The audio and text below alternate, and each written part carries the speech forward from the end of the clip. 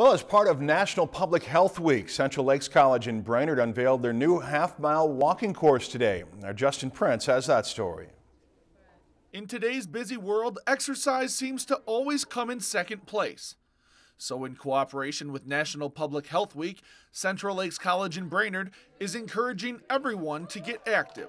We unveiled the new logo for our CLC half mile, and uh, what that is, we've got a, uh, two actually different courses that uh, are very, very close to exactly half a mile each. This opportunity for faculty, staff, administration, students, and community members to come together uh, to enjoy Central Lakes College, walking the halls and, uh, and essentially getting that exercise that a lot of us don't get. The half mile has been around for several years but they say it was time for a much needed facelift. The CLC half mile has been in existence for several years, but this is a revamp of that half mile and an opportunity for us to celebrate Public Health uh, Awareness Week. And they say this was the perfect time to unveil their new brand. As we kicked around the idea, we decided to start looking at uh, bigger pieces of the, the puzzle that we could coincide it with and how we could really tie it in nicely to an event.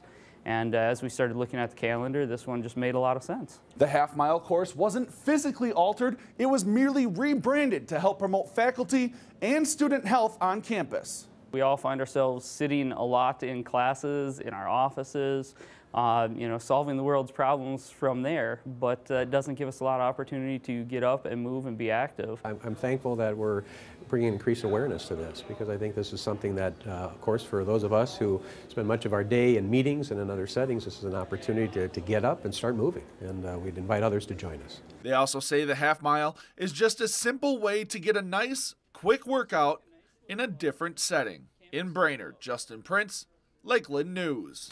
The half mile is open to the public and has either an easy or an intense course that can be walked.